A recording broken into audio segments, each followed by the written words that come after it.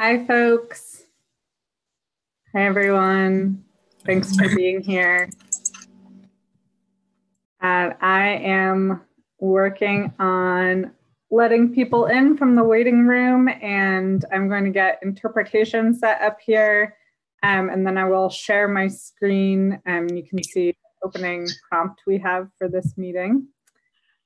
So let me just get interpretation set up here first. Caitlin. Hi, Catherine. You're going first, right? Yes. Yes. Great. Hi. Thank you for being here. Yes. Thank you. Yes.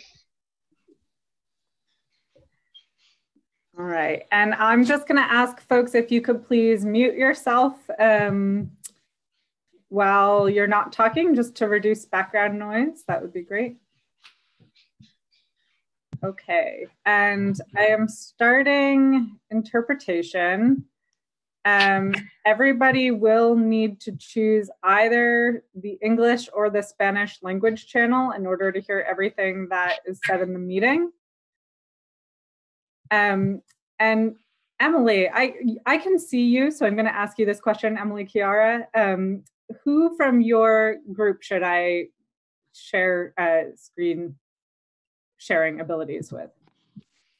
Um, with Zhupong and I. Um, unfortunately, is not going to be able to join us today. Okay, no problem. All right, thank you. I'll do that.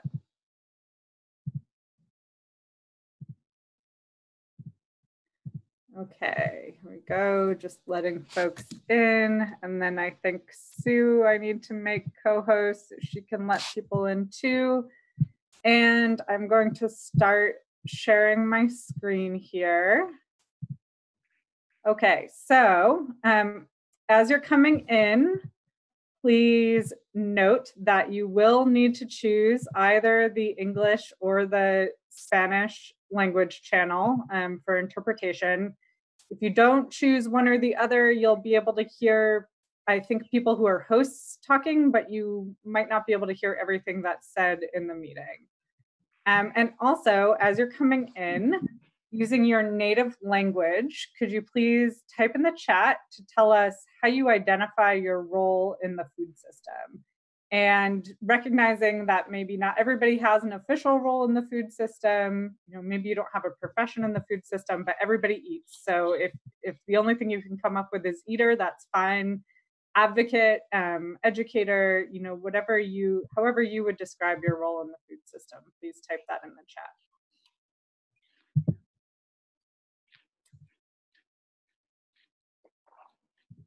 We've just still got folks coming in, so I'm just gonna wait a couple, another minute or two before we get started in, erm- in earnest here. Um, we've got a big group today, which is really exciting. So I'm really appreciative of everyone for being here.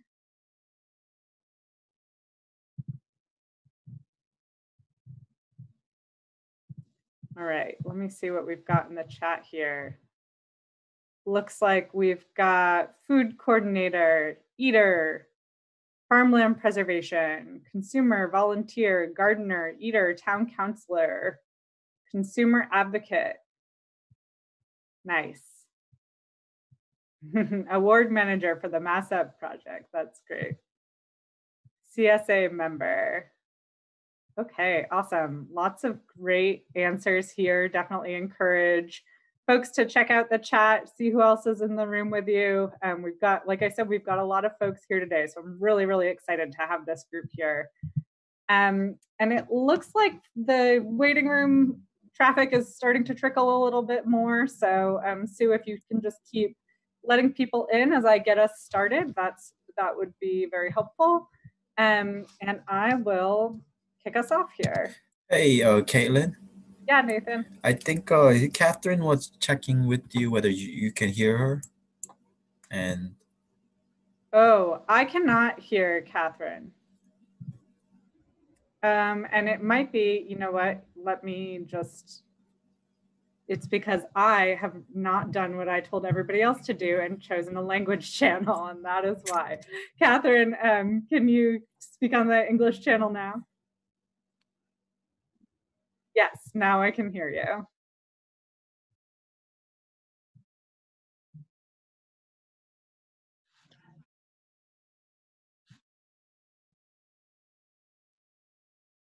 No, so there's nobody there yet.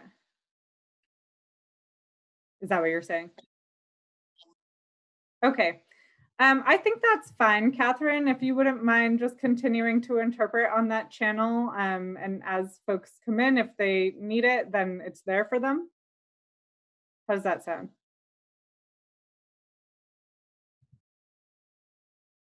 Catherine? Okay, great. Thank you. All right, so let me go back to my presentation here. All right, so thank you everyone for sharing a little bit more about yourself. Um, oh, I'm sorry, and I'm not actually sharing my screen, I think. Let me get this figured out. Okay, so this is transforming white supremacy in the Hampshire County food system, moving toward shared power.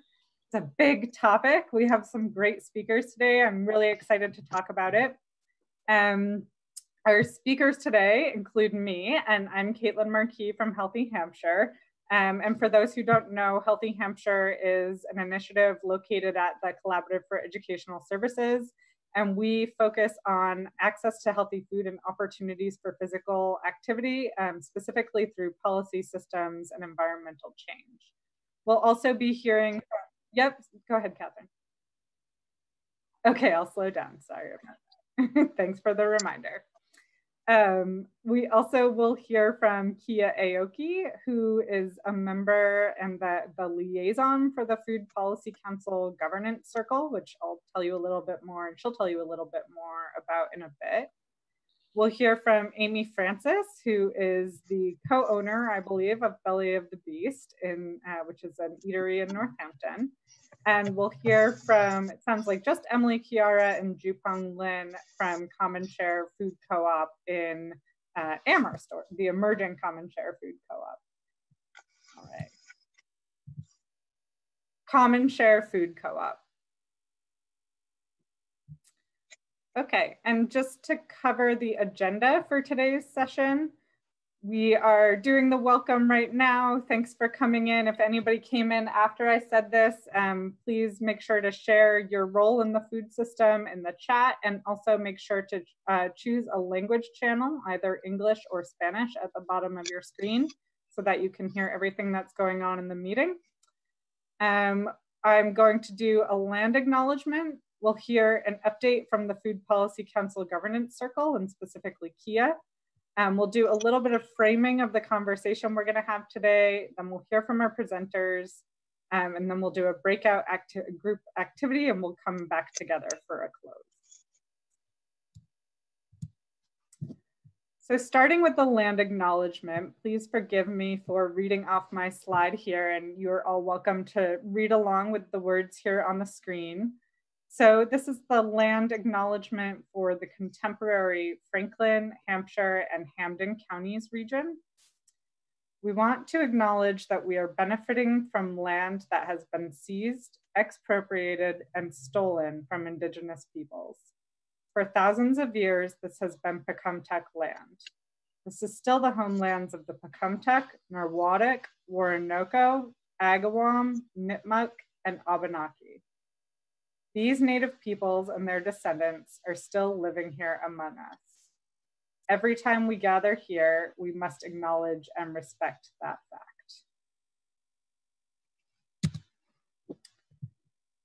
Okay, thank you. So we are uh, going to talk a little bit first about um, what is the Hampshire County Food Policy Council. Um, some of you maybe have never heard of it before. This is the first learning circle of the Hampshire County Food Policy Council. Um, and I can tell you a little bit more about our, our thinking behind that. Um, but first, I'll just say the Hampshire County Food Policy Council um, is being established with a grant from the Massachusetts Health Policy Commission. And that's called the Mass Up Grant. And um, we have several initiating partners um, who are, are, involved in this grant and are, yeah.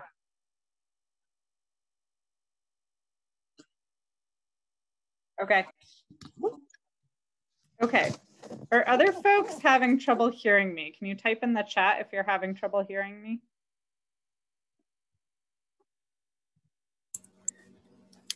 Kelly, you might also have to um, type that question into the chat if um, Okay. in case people can't hear you at all.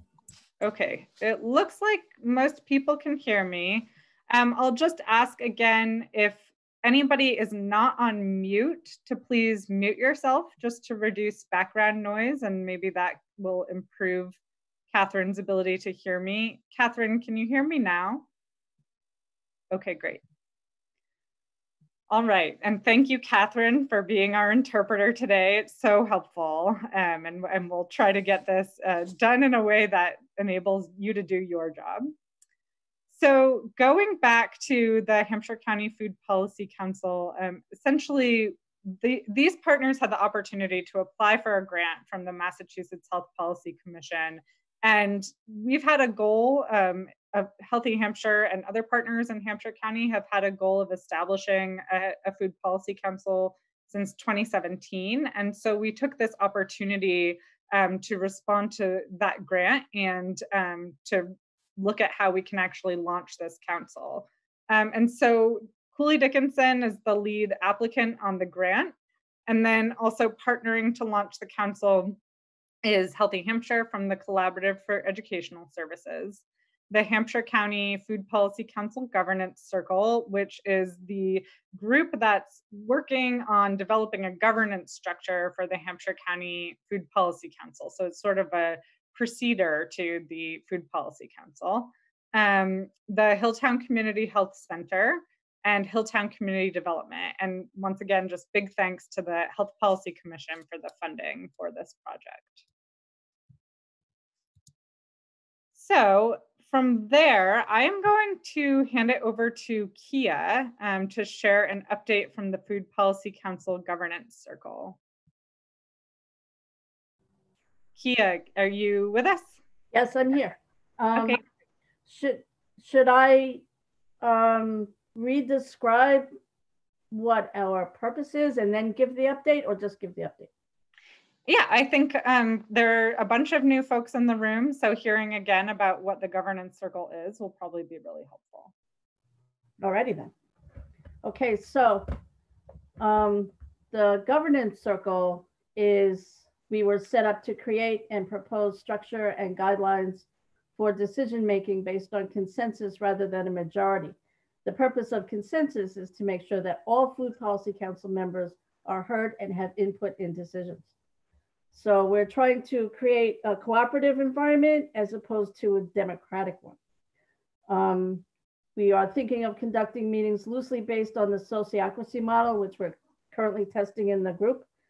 Um, and I would, and we're also thinking about streamlining it for a larger group. And so we've spent the past couple of months sort of testing that model and seeing how it works with, um, I think we're currently eight people or something close to that. And uh, as we're getting to know each other and as consensus building is something we've been practicing, it it seems to me and to the rest of us, I believe, to be something that's um, that's working out. I mean, I think we all like it. So I, I think within the next week or so, um, we'll probably be able to make a proposal to the whole group and uh, come up with um, a specific model for how we're going to govern our, ourselves. But it, it's taken some time, you know, it's taken some time and we've really hashed it out and thought about it and talked about it. And we've had helping circles to kind of narrow the focus in some places and make some some smaller decisions and then bring it to the larger group. And, and that's where we're at now is um, about a week away, maybe two weeks away from, from making that decision. So, so this is very exciting. And I think once the, once the structure is up and running and the Food Policy Council is using that structure, it, it will be really easy to, to find consensus and common ground and, and be able to decide together, you know, what are the important issues we want to tackle, um, how we want to tackle them, um, what we want to tackle first, what are the most urgent concerns, like all of these things we can talk about and have consensus about all of it. So, so that's that's pretty much where we're at right now. So we're making good progress, and um, I'm very excited that things are actually happening. Thank you so much, Kia. Really appreciate that update, um, that detailed and helpful update. It's um, awesome of you to share. And um, I wonder maybe if we could just, um, if anybody has questions for Kia about her update, if you could send a message to her in the chat, Kia, would that be okay? Yeah, okay. So if you have questions for Kia, send her a message in the chat and um, hopefully she can answer the questions for you. All right, I'm gonna move on here. No. And Yo no, no estaba escuchando hasta ahora, no sé de, de, de, de qué se trataba. Sí, ahora te escucho, pero como no, no escuché completamente, no supe de qué se trató, porque fui ahora que entré. All right, so Ajá. I'm just pausing here to get our, our interpretation figured out. We do have someone on the Spanish channel now.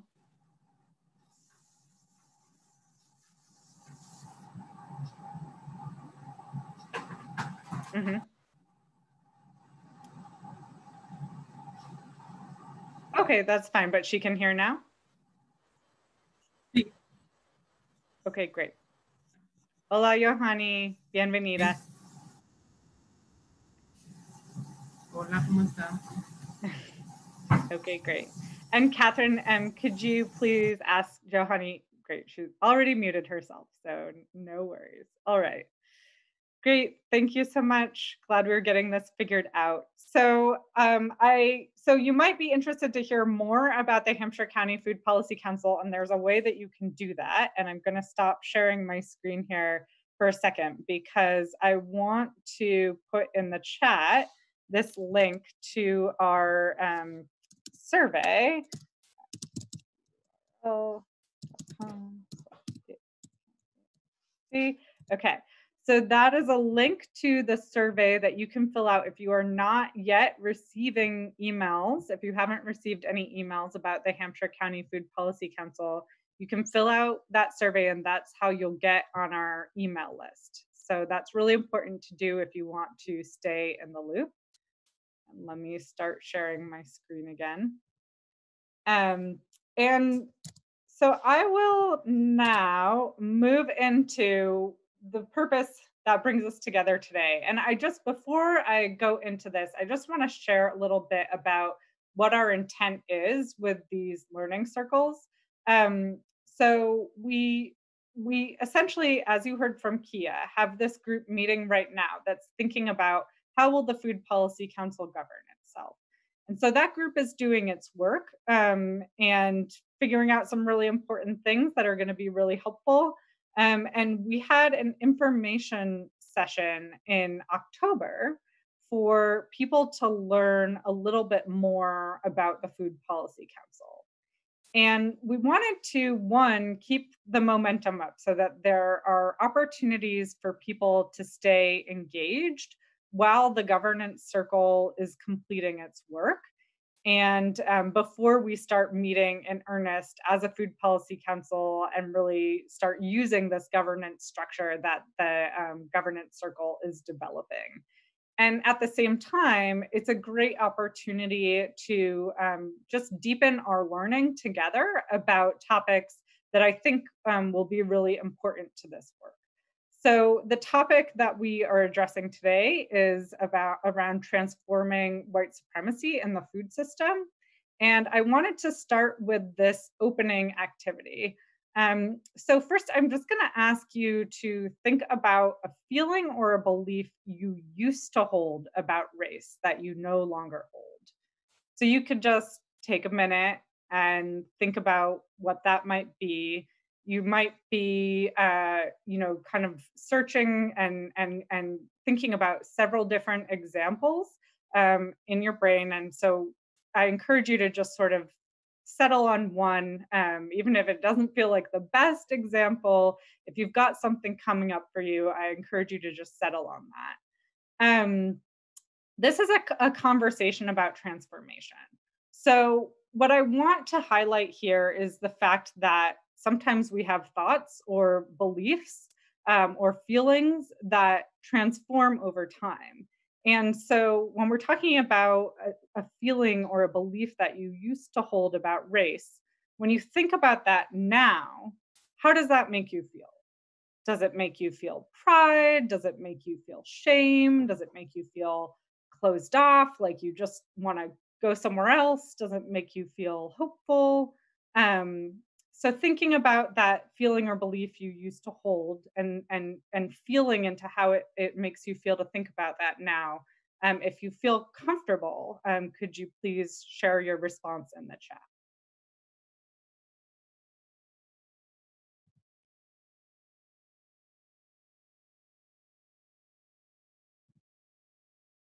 Sí, entendí.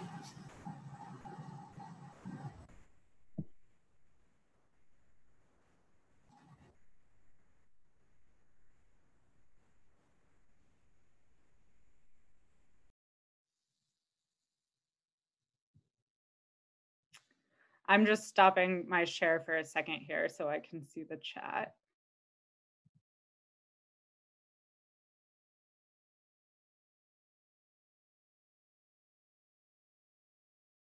And it looks like um, the word the link that I posted in the chat um, didn't quite work for some folks. So let me see if I can do that again.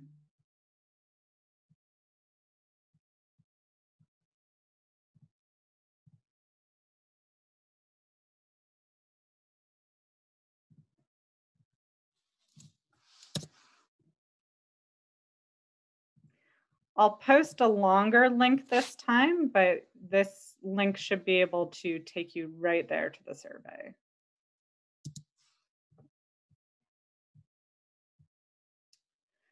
So I'm seeing several different emotions that people are experiencing from doing this opening activity. I'm seeing um, hopeful. I'm seeing, uh, let's see, overwhelmed.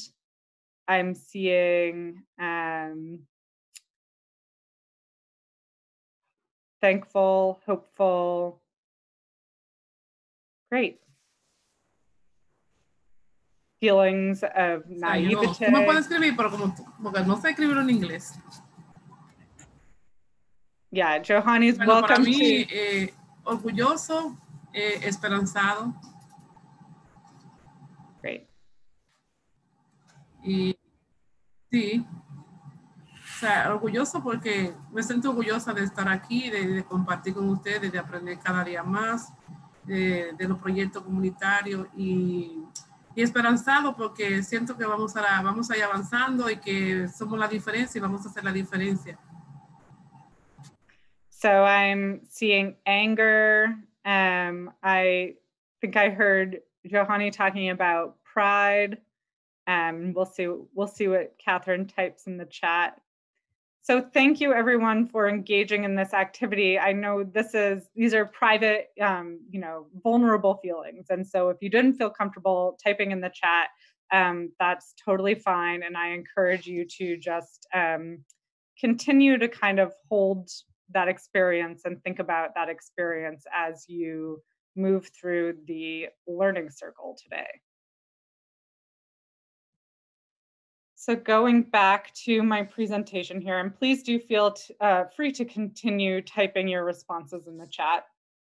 Um, so we are going to talk about why we are using the words white supremacy um, to have this conversation and in the title of this session. Um, and I apologize um, for these, for me, what are, are slightly triggering um, images on the left, which might be images that come to mind for you when you hear the words white supremacy.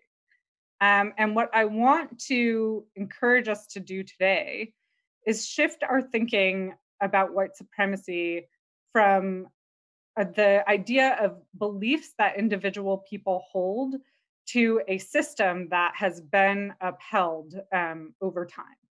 So when we're talking about white supremacy, we're not necessarily talking about the KKK or specific hate groups. we're talking about a system. Um, and that's what that graph on the right represents. I will return to a similar graph later. Um, so this is a timeline that I put together to showcase how long it has been or how long it was that the concept of whiteness came into play in our country and then was used to systematically and legally suppress people who were not white, and particularly people who were African American, Black, enslaved. Sure, yeah. So this is just a timeline to show um, the history of oppression um, of non-white people in this country uh, starting from the invention of whiteness as a, con- a concept. And I want to really hit home the idea that whiteness is an invented concept. It's a social, it's what we call a social construct. So going back 400 years, um, almost to the year, um, enslaved Africans were brought to this country in 1619. And I think you all probably know what the purpose of that was. I don't need to get into that too much. It wasn't actually until the 1680s that there's the first written record of white as a race. So even though in this country between 1619 and 1680, we had these two groups that we now think of as white and black, there were over 60 years there that nobody identified them that way. Um, and so it was really in the 1680s that whiteness was invented. So going from 1680 to 1865, that is nearly 200 years of enslavement of Africans who were brought to this country as slaves. And so that's 200 years right there, that whiteness was used to justify the suppression, oppression, enslavement of people in this country, and that was legal to do. So just because slavery wasn't over doesn't mean that the legality of, of race-based oppression, and remember, race being a social construct, was uh, was over. Because then between 1877 and 1965, we saw the Jim Crow era. And so many of you probably know the Jim Crow era, era was a period of American history when um, resources were segregated between Black people and white people, and Black people were only allowed to engage with certain resources, and white people were only, you know, allowed to engage with certain resources.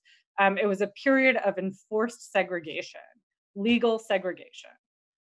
So I took this timeline up to 1974 with the end of redlining.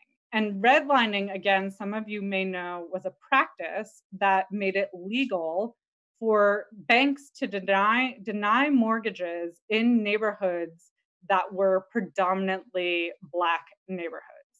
And so, what I'm intending to show here is the long, long period in our American history where whiteness was invented and was legalized a legal uh, it was legal to use whiteness to oppress and suppress people and I, I, I, like I said, I ended this timeline in 1974, um, and I know probably many of you in this room can think of other examples of the legal use of race as a tool of oppression that happened in this timeline, and that's still happening today. Some of you might be familiar with Michelle Alexander's book, The New Jim Crow, which argues that drug laws are a new form. Michelle Alexander, um, who argues that drug laws are a new, a new form of um, Jim Crow era policies.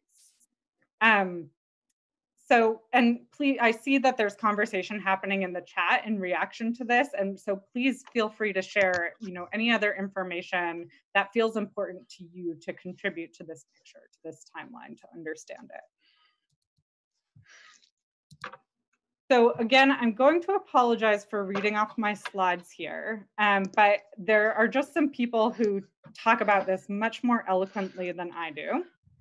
Um, and so many of you might be familiar with Robin DiAngelo. She wrote a really well-known book called uh, White Fragility, among other things. And for a time, she was also a professor at Westfield State here in Western Massachusetts. Um, and I'm hearing some background noise, so just a reminder to folks to mute yourself um, unless you are have the opportunity to speak, which you will uh, in the breakout groups. So in the words of Robin DiAngelo, while white supremacy has shaped Western political thought for hundreds of years, it is rarely named. In this way, white supremacy is rendered invisible while other political systems, socialism, capitalism, fascism, are identified and studied. In fact, much of its power is drawn from its invisibility, the taken for granted aspects of white superiority that underwrite all other political and social contracts.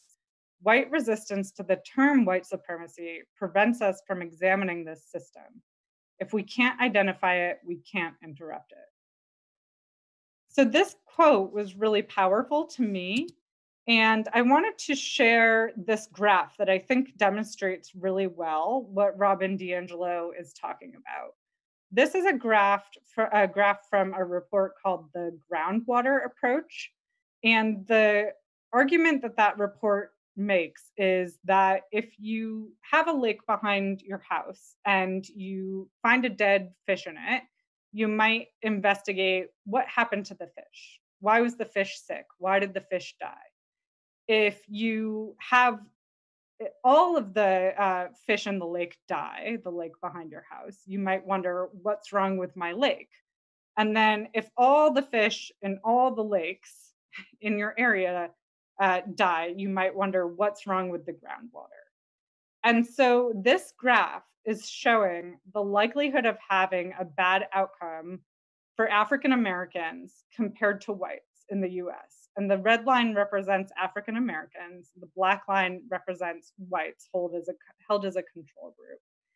And I know it's really tiny and hard to see, but this graph demonstrates how, um, how these bad outcomes span several different categories. So you have infant death, you have below proficient in fourth grade, you have searched on a routine traffic stop, you have in foster care, denied a loan, not owning a home.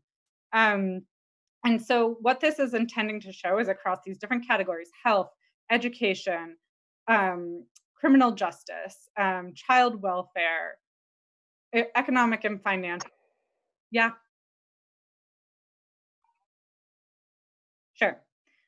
So, what this graph is intending to show is that across these different categories, including health, education, criminal justice, child welfare, um, and economic and financial categories. There's a higher and sometimes much higher likelihood of African Americans having a bad outcome. And so this is what I think Robin DiAngelo is talking about when she talks about this this this culture, this system that underwrites every single one of these other systems um, and that we we we can't ignore if we want to think about how to um, change or influence these systems. So the other quote that I found really powerful when I was uh, looking for ways to express this is this quote by Scott Woods, which says, "It's not a cold that you can get over. There is no anti-racist certification class." It's a set of socioeconomic traps and cultural values that are fired up every time we interact with the world. It is a thing you have to keep scooping out of the boat of your life to keep from drowning in it.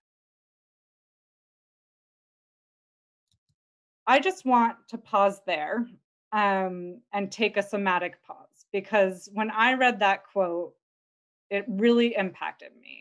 Um, and I'm imagining that some of you might feel really impacted right now too. So I want to ask you to focus your attention on how you're feeling in your body. where are you feeling sensations in your body? What do those sensations tell you? If you want to share any of those answers in the chat, please feel free to do so.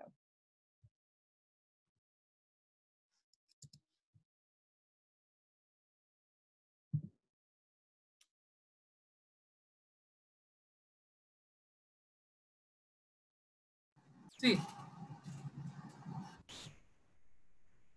Bueno, un poco, porque fue que me tuve que parar porque Ah, fue so la computadora, pero estaba uh, cocinando, me parece que se me... Uh, put the quote back up.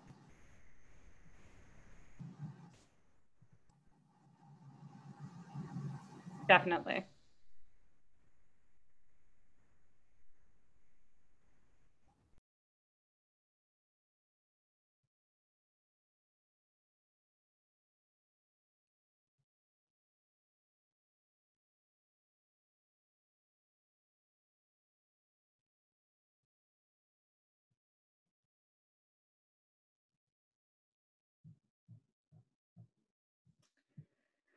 Thank you to those who are sharing your somatic experiences in the chat. Um, once again, I know this is vulnerable. It can be hard to talk about um, our feelings in a large group like this. And so I really appreciate um, those of you who are putting yourself out there and, and sharing your feelings in this way. So I'm going to move us on.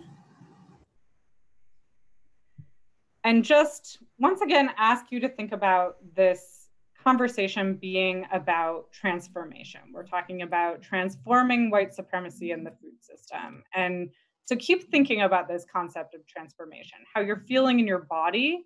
It'll probably transform as we hear from our speakers, as we, go through the breakout group activity, as you go on about your day after the session is over, even, and, and think about what we talked about in the session.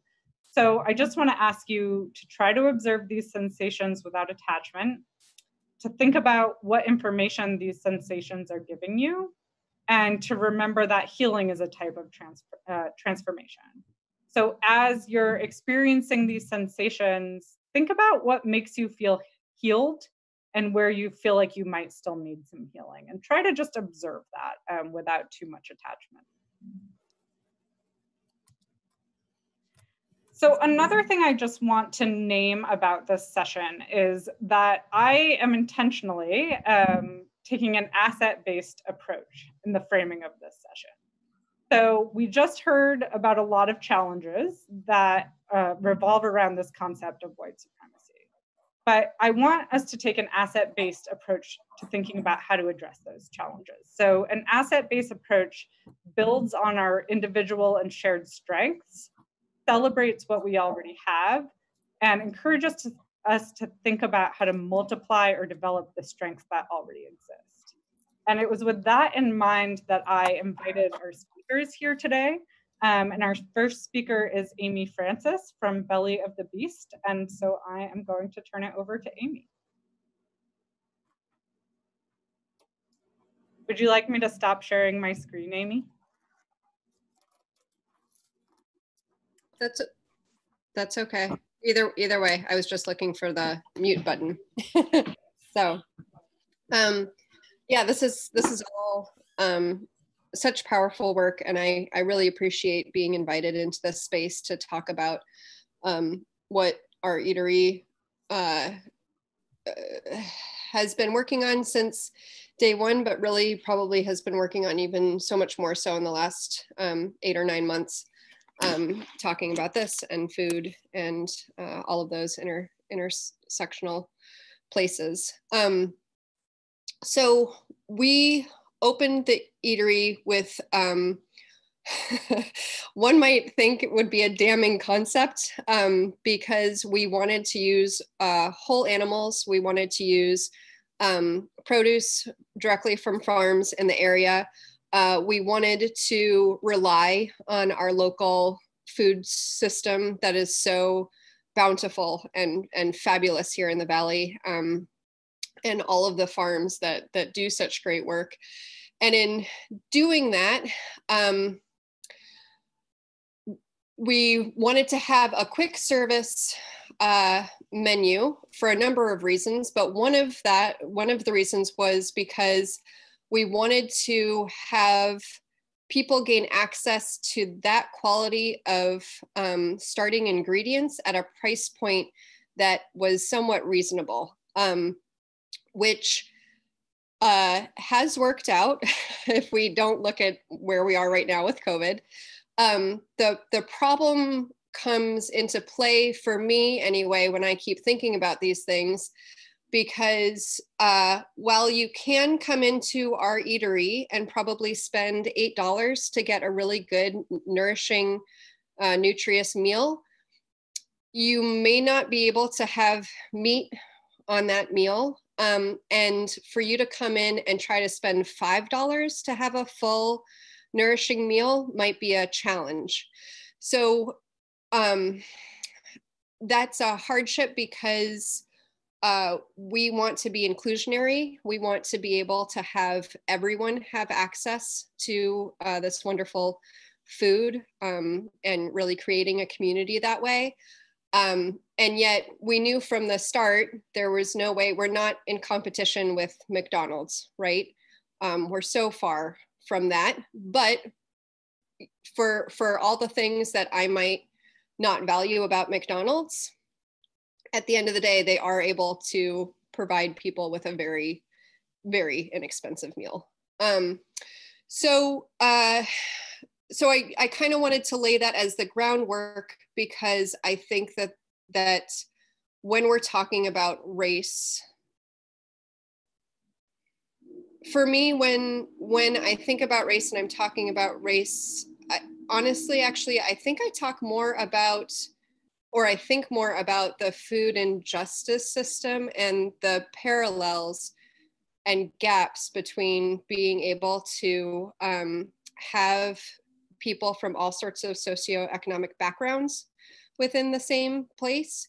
And therefore also in in some ways that's to have people of different races in the in the same places but those aren't equal um, divisions right? You can you can have like way multicultural people in the same place that might all be in the same socioeconomic background um, and vice versa. Like those things can go in in whatever type of waves.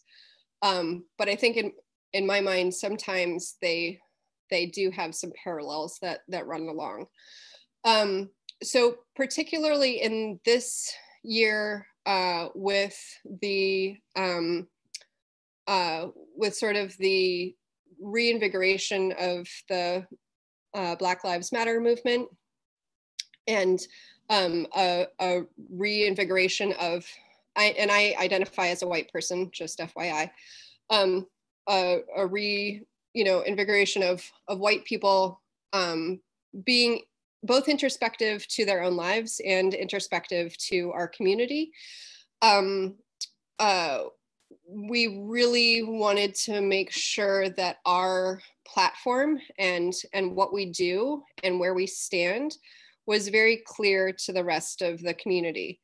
Um, uh, part part of perhaps why that's so important is that Jesse and I both um, come from a Jewish heritage, and so in that background, um, uh, not not so much personally in in my life. I've I've I've known times of um, being the odd one out, but I haven't necessarily had a moment in my life where I've felt like I'm an oppressed group in any way or or anything like that. But I I know that my family's history absolutely has that in in spades. All the different stories that I've been told in growing up and and Jesse as well. And so for us to be um,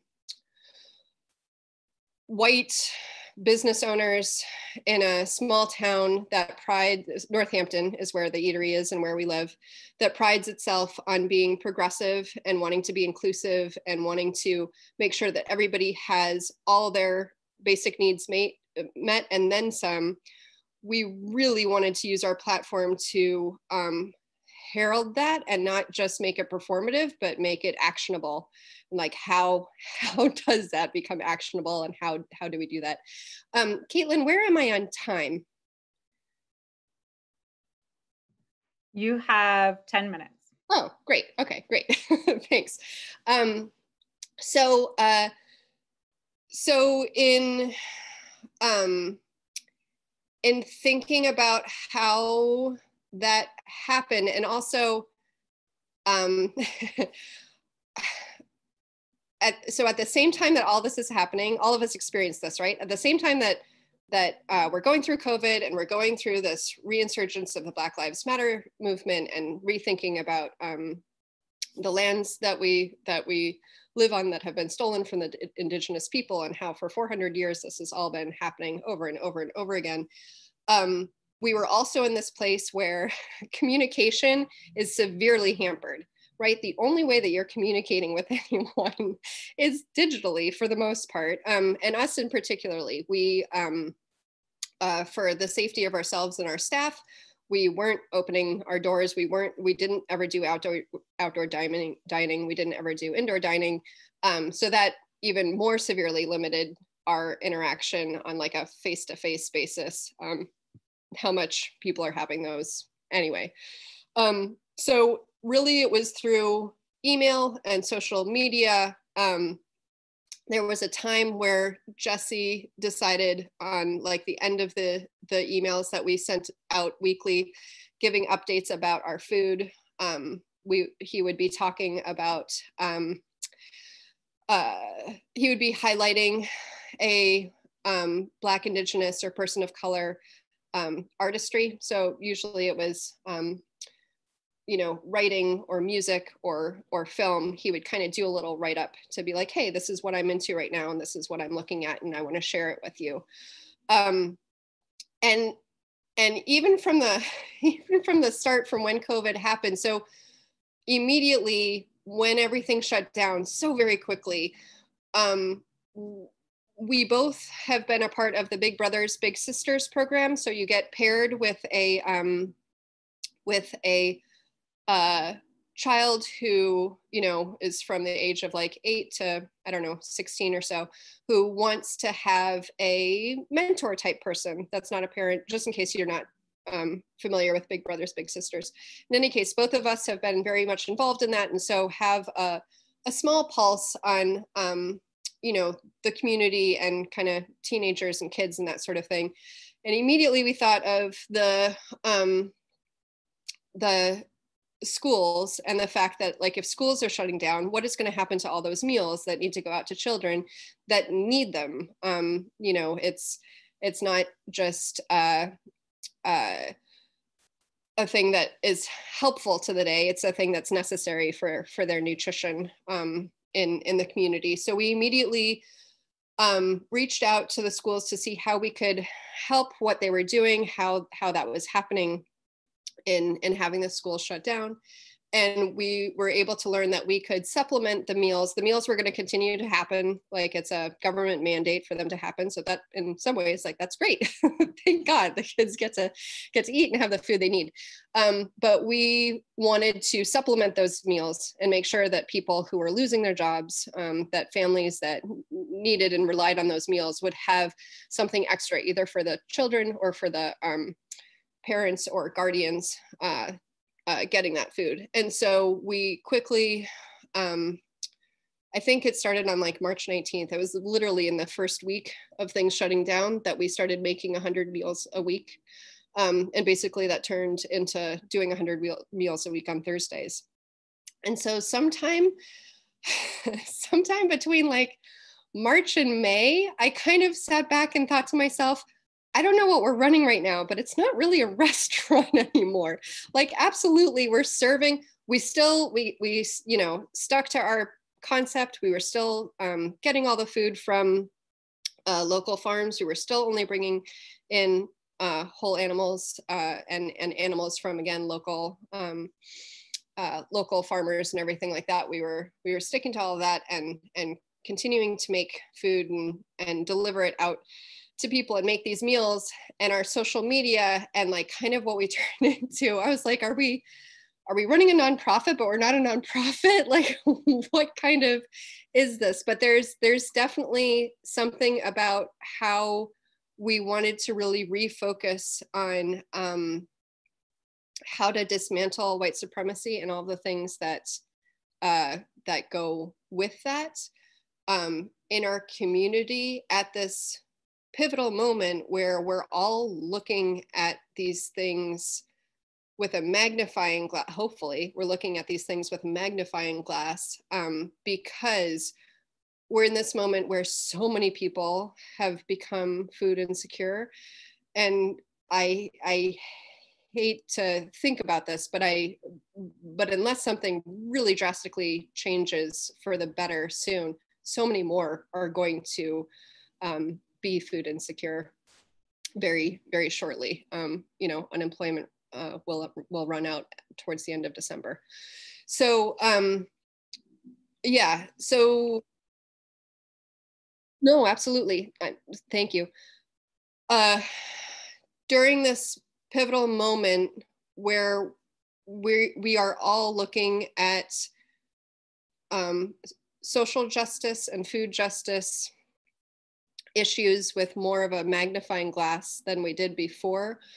We just find it to be very important to um, uh, to to use our our platform to refocus our community on on those things and how to better um, better manage how to, how to better like dismantle white supremacy in our community and um, and how we do that through our platform and with and with food um, which is which is difficult because this sort of circles back to what i said in the beginning having a concept where you're going to lean on the community and take from your wonderful community buy all this food and and and reinvest that money to the farmers in the community and then turn that food into wonderful you know meals to serve to the community um, makes that food be at a price point that is not necessarily what we would want to um, to do because then there's uh, a, a hindrance to who can access that food who can access our food, the meals that we make. Um, uh, and Caitlin, I'm sorry again, am I about eight minutes? I was just gonna um, message you. You have about two more minutes. Okay, great. So, so I'll just I'll quickly sort of talk about where we've shifted in bringing in the I Collective, which is um, uh, basically at the end of the summer, I was burnt out from um, doing my job during COVID. So I uh, was in touch with a number of different chefs, but Neftali Duran, who lives in Holyoke and is an Indigenous um, chef and uh, food justice activist, um, reached out to a group he's in called the I Collective, which is a group of North um, North American Indigenous uh, seed keepers, chefs, um, food activists, wonderful indigenous um, people who have now taken a residency at our eatery so that um, our platform can be used by by them so that they can share their food and knowledge with the valley um, and so wonderfully that has come about and has become a very real way of being able to to hand over the reins and, and recenter I'm going to drop my email in the chat. Anyone who wants to be in touch with me can can email me. We can even plan a phone call um, if you want to talk about things more, have other ideas, anything like that. But I think I'll leave it at that. Thank you. That's great. Thank you so much, Amy. Really appreciate you sharing um, about your experiences. And um, I see people are already dropping questions for Amy in the chat, which I think is great. And Amy, do you mind if people continue to ask questions through the chat? All right, awesome. Thanks so much. So to keep us moving along, I'll turn it over to Emily Chiara and Jupong Lin from the Common Share Food Antes de que, eh, eh, Catherine, me gustaría que tú me dijeras, ella, por ejemplo, la que estaba hablando, que yo lo que no supe de dónde ella, o sea, o de dónde, dónde ella, de dónde el trabajo que ella está diciendo, o que ella, todo lo que ella ha dicho, de dónde es.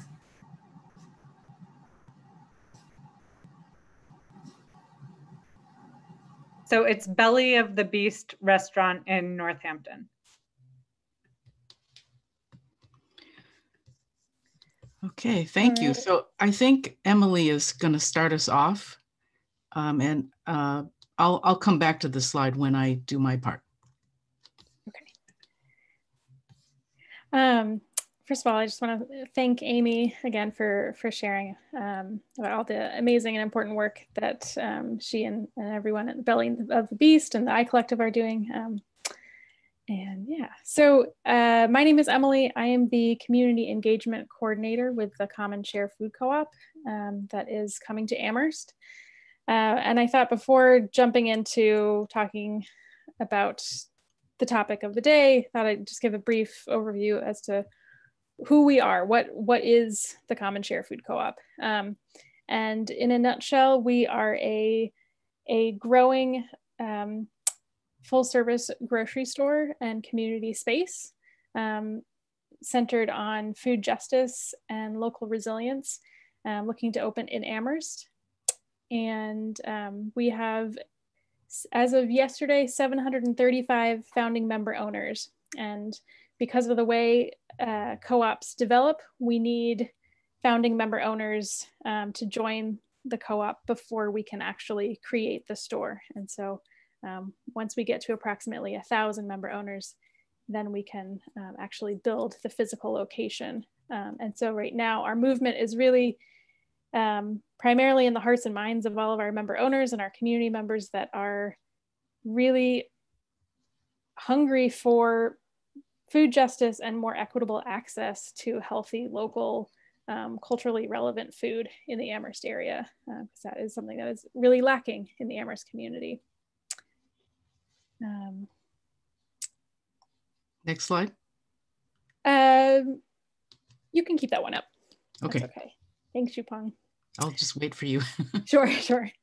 Um, and also just a brief background, if you're not familiar with what a co-op is, a co-op is any business that is collectively owned and democratically governed by the people that use its services. So that could be anything from, in our case, a food co-op where community members are both shoppers and they also have a say in um, how the store is run democratically, or it could be a worker cooperative where the workers of the business are also owners of the the, the store and they can um, uh, govern things as well. And so in our case, our co-op will be both um, community and worker owned. Um, so in, in thinking about the this topic today of dismantling white supremacy in our local food system, um, I started to think a lot about the connections with uh, the cooperative movement um, and how the cooperative movement in particular is one that has been through several evolutions um, and has grown within and alongside racial and economic justice movements. Um, and the cooperative movement is not new to, to communities of color. Um, communities of color all across this country and around the world have a long history of using cooperative economics to build collective wealth um, and access resources that have been denied to them. Um, there are many examples of this from uh, farm and housing cooperatives like the, the Freedom Farm Cooperative started by Fannie Lou Hamer and uh, other examples of, of food co-ops that have been built in majority BIPOC communities and low income neighborhoods where supermarket chains have decided it's not in their best interest to open there. And so, um, and, and because of other um, uh, systemically racist laws and regulations, um, uh, entire neighborhoods have been um, have become uh, food apartheid neighborhoods, and so that's where you often see food co-ops um, springing up because it's a way for community members to develop food sovereignty for themselves um, and and increase their own wealth and power. Um, and so I, I, we say that at the same time, um, our co-op has done a lot of um, thinking about how to grapple with the fact that today's image of a food co-op is usually um, and unfortunately very whitewashed. Um, actually, Shupang, I forgot to ask you to go to the next slide. So these are the these are the seven cooperative principles that govern all co-ops. Um, actually, if you could go to the next one. Thanks so much, Zhipeng. Mm -hmm. um, yeah, so as I was saying, the the cooperative movement or the image, I should say, of, of food co-ops today um, is unfortunately one that is often very whitewashed. Um, and people think of uh, these health food stores that have very expensive products and that don't feel welcoming and inclusive. Um, and that's something, that's an image that we, um, with our growing co-op, are trying to um, understand how co-ops got to that point and how we can um, actively work against that so that we are not um, we are not perpetuating that image and actively working against that. And and that means educating ourselves um, and our our board um, our member owners and our and the general public about the diverse and rich history of the cooperative movement, um, as well as sharing um, the work and successes from other um, uh, startup co-op uh, organizations in places like uh, Dayton, Ohio. The Gem City Market um, is a, an amazing uh, startup co-op that we've become close with. Um, and they're doing incredible work to to uh, bring accessible, healthy food um, to their community, and, and, also sharing the powerful work of the Detroit People's Food Co-op. Um, so we're trying to to shift our platform to both share why Amherst in particular needs a co-op and why the cooperative movement is so important and so powerful in um, creating an alternative to capitalism and dismantling white supremacy.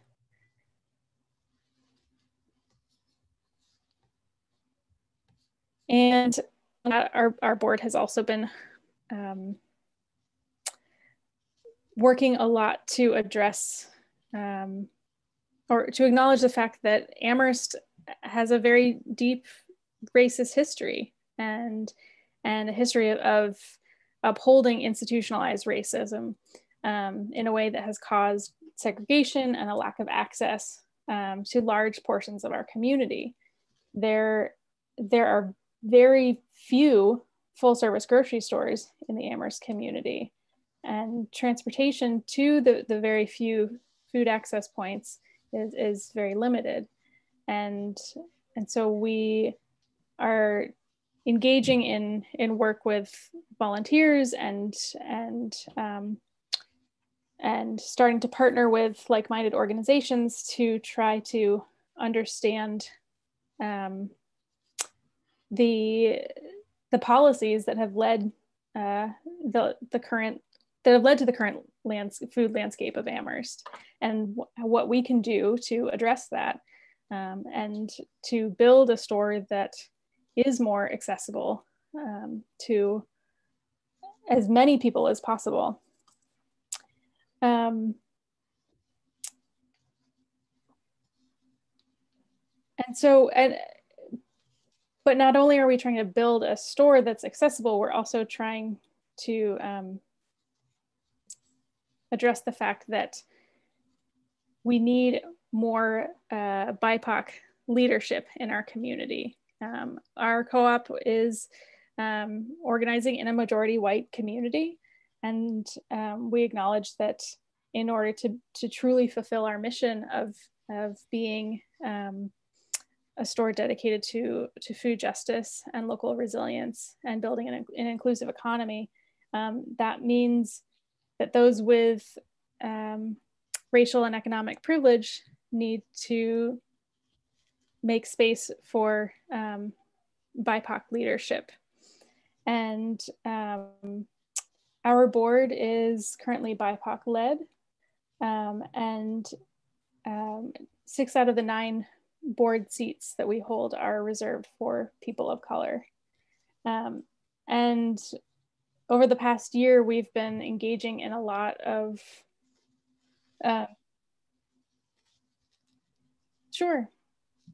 I was um, saying that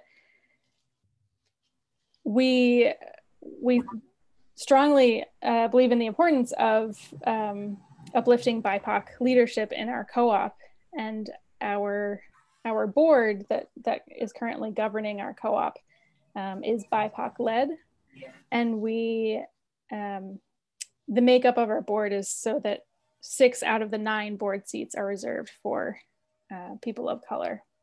What does BIPOC stand for? Yeah, sorry. Thank you, Nathan. Uh, BIPOC standing.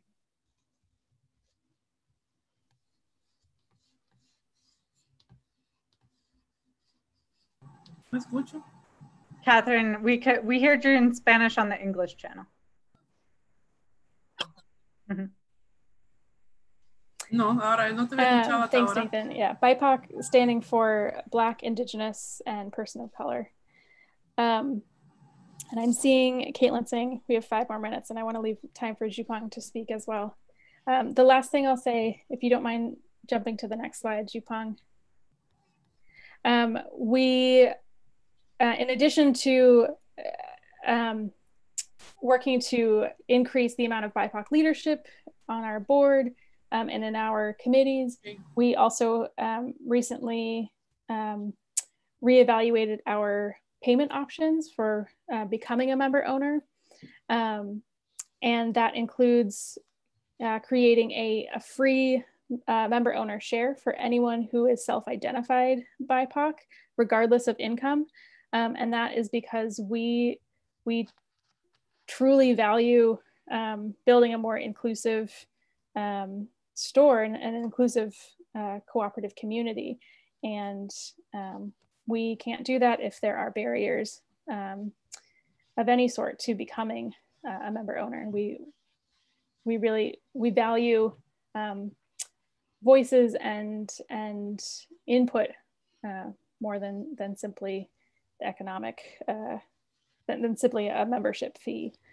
Um, and so that's something that we're trying to, to create more um, awareness about right now, try to raise more funds so that we can um, we can fund more solidarity shares across our community, as well as get the word out about the fact that we have these these shares and um, and encourage people to to get involved in our in our co-op. And so I'll um, hand it over to Zhipeng. Okay, great. Um, so I know we only have a few minutes, so um, my part of the presentation is uh, was just to kind of highlight um, one of the ways that we are trying to build a, a case, build a public case for the co-op. Um, and um, Emily has spoken to some of those um, rationales.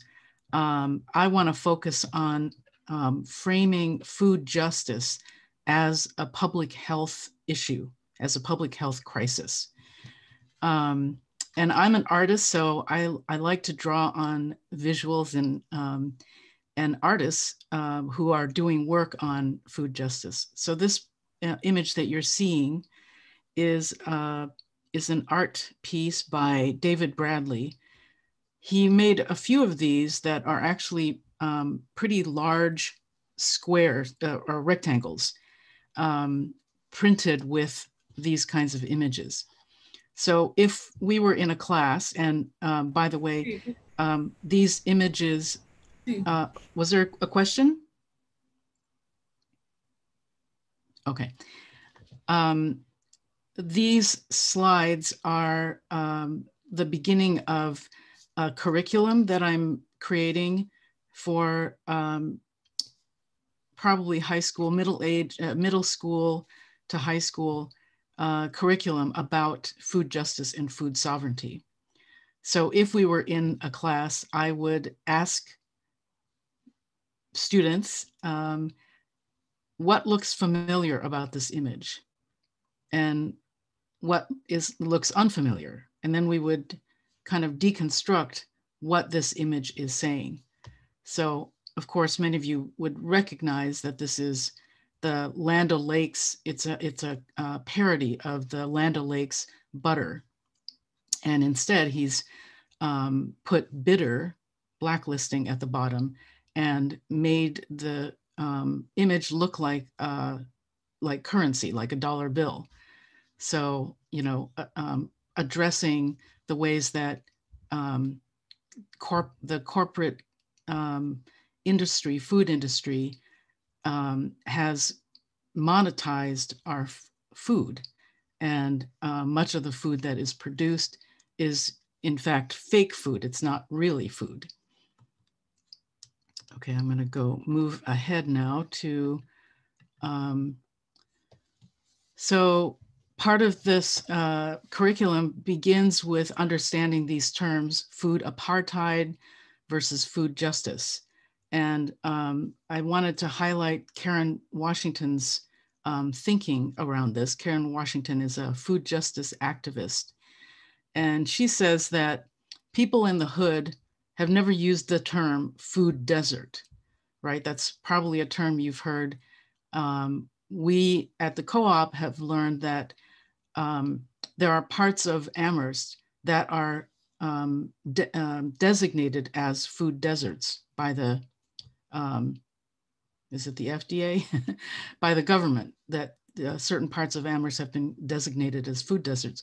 Rather than calling these areas food deserts, I would um, go with Karen Washington's um, expression or terminology, which is to call these areas food apartheid, because the term food apartheid puts our attention on the whole food system and the ways that white supremacy and racism, um, geography, economics, these are all interrelated um, forms of oppression. And so people like Karen Washington and LaDonna Redmond um, are really trying to build community resilience through things like um, urban gardening, um, food. Uh, Karen Washington is the founder of, um, I think it's called Black Farmers and Urban Gardeners, and um, and I just love this image where you know they're the community's urban garden is taking over um, the big M. Um, so food, what is food sovereignty? It's the right of people to healthy and culturally appropriate food produced through ecologically sound and sustainable methods, and their right to define their own food and agriculture systems. And so earlier when um, Amy was talking about Belly of the Beast and what a wonderful food system we have here in the Valley, um, it is very true. We have a lot of abundance and a, a wonderful food system for many of us. But there are many people in the valley who um, who don't have access to the wonderful um, foods of the valley, um, and who who don't have food security and who um, don't have food sovereignty. Um, in this slide, I wanted to highlight um, Karen Washington's call to us to remember that food sovereignty was a term that was coined by Via Campesina, which was a peasant, is a peasant um, farm um, organization or movement. And, um, and that she asks us to really honor that this term came from those roots from people who have been fighting for land ownership and for resiliency um, for a long, long time um, she talks about how the term food sovereignty and food justice are terms that have been co-opted or appropriated um, just as food co-ops have you know as as emily spoke to earlier. The image that a lot of people have of food co-ops is that they're very white spaces and um, and i mean i just went to river valley the other day and you know every time I go there, I walk out shocked by how much the the how much I had to pay. So um, so we're working really hard to make um, our our food co-op um, a different kind of system and to to reclaim um, cooperative economics from um, this tendency that capitalism has to constantly co-opt, um, you know, radical uh, movements.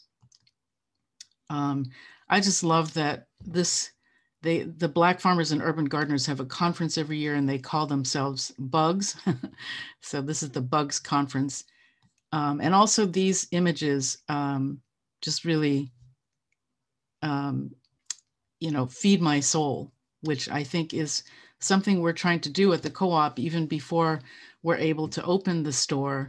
Um, we we really want to to connect with community and um, you know and, and, in our community check-ins um, we're really trying to feed each other's souls and and um, feed the community nourish the community.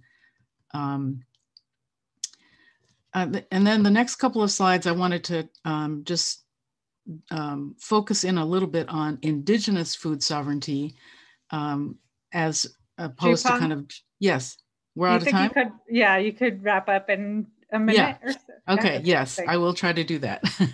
Um, so indigenous food i'll just highlight in this slide um, that they say food is a gift from the creator that food is sacred. And um, i just love that so much and I, I think you know, again, if we were in the classroom, we would do uh, mindfulness eating exercise and um, and uh, you know, look at this gorgeous corn. This is from um, Rowan White, who is the founder of Sierra Seeds. She's a seed um, saver, a seed rematriator.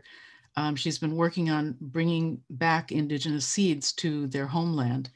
Um, okay, and I'm just gonna, um, well, let me just go back to this for one second um, I just want to mention that I'm uh, working on a PhD and really have decided to focus on the environmental history of this area, uh, indigenous and environmental history. And so I've, I've recently um, read a pretty old history of Amherst that talks about um, how this land was the hunting grounds of um, the Nonotuck and the and the Nipmuc, and it was sold supposedly sold at a fair price to the native people.